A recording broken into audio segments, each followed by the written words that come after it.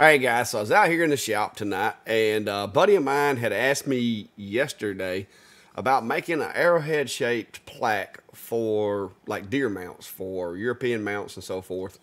And uh, there, there used to be a guy around in our area that made them by hand, and uh, they liked them. A lot of people were getting animals uh, like mounts put on them and stuff, and it was pretty neat. So he asked me, he's like, "Is that something that you could do with your new machine?"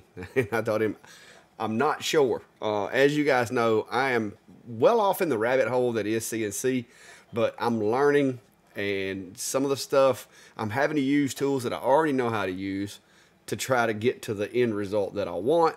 And currently I'm running uh, for my CNC, I'm just running my regular Vectric uh, desktop VCarve software. Uh, so as long as I'm within the, what is it, 525 by 525, I'm good, but I haven't pulled the trigger yet to get VCarve Pro. So a lot of the 3D design and stuff like that, I'm doing in Fusion 360. And you know, I, I use that a lot for my 3D printers and such. So I decided tonight to make a prototype of what he showed me a picture of. And guys, that's what I came up with. Uh, it's a little wooden arrowhead that actually has the, the edges kind of look like it was, uh, you know, actually a chopped arrowhead. Uh, and I wanted to come up with the, the, quickest, most efficient way of making this file. Now, this is a miniature version because I didn't want to spend three hours until I seen what uh, it looked like. So, you know, the final product later could be much, much bigger than this. But this is just a little prototype just to see how the lines came out. And I'm going to kind of quickly walk you through the process of how I went about making it uh, using assorted software. So uh, it's kind of an adventure. Some of you guys are pros at this and you're going to make fun of me, but that's okay. I'm learning and I'm making some pretty cool stuff. So there you have it.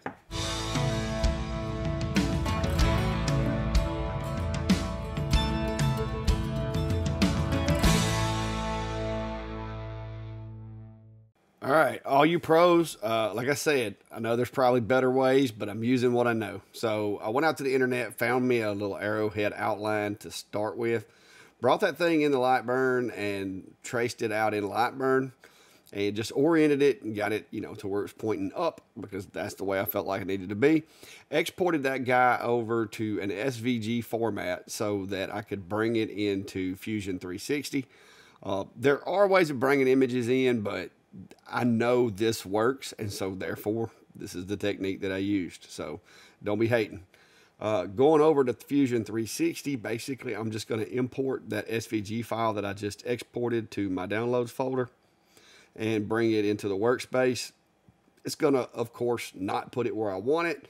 So I'm just going to grab the little brackets right there and orient it to where 0, 0 is basically in the bottom left corner of it, just out of habit. then I'm just basically just going to tell it to leave that there.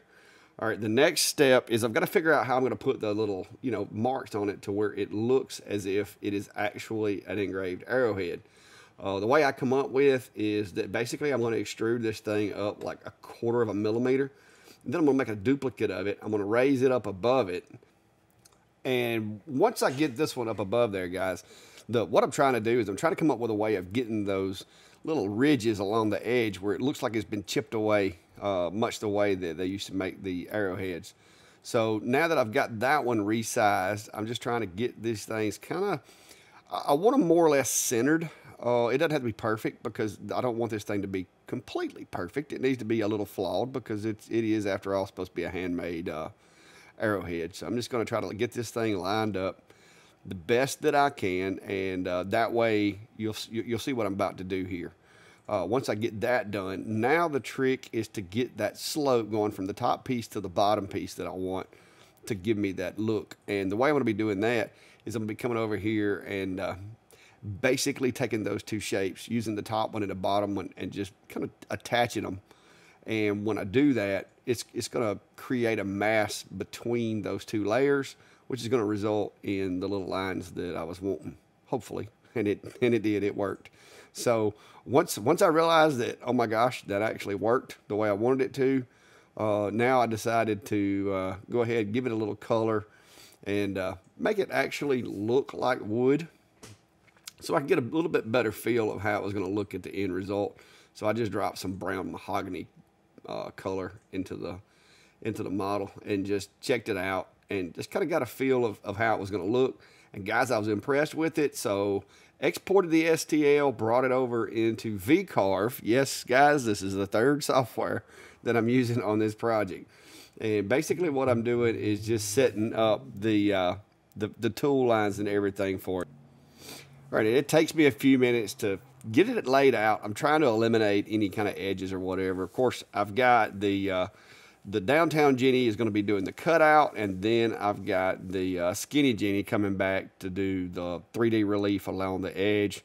Uh, that's the rough and pass that you saw there, and then I'm coming back with the skinny Genie, and I'm going to do the uh, detail pass. And so, according to VCarve, guys, I may have gotten it right, and uh, so now all that is left to do is export that file over to the machine that operates my Shapeoko.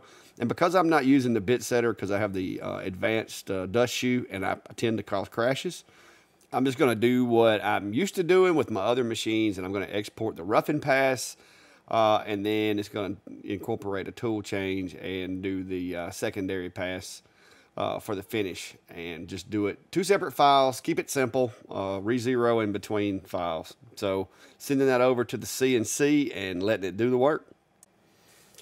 All right guys so I hope that was interesting amusing or entertaining for you. Uh, like I said I'm trying to work in a little time to spend with the CNC and the software and try to come up with projects.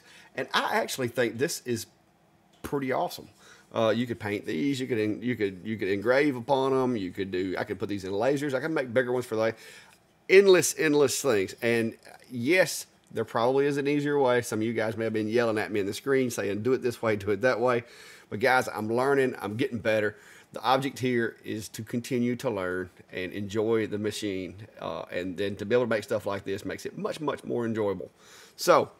If you're interested in any of the stuff in the video, guys, I will be putting links down below for the Shapeoko. I'll put a link in there for the Genie Bits, uh, Fusion, all the whole nine yards. There'll be links down below if you want to check those out. Because if I, the one link that I don't put down there, somebody's going to ask for.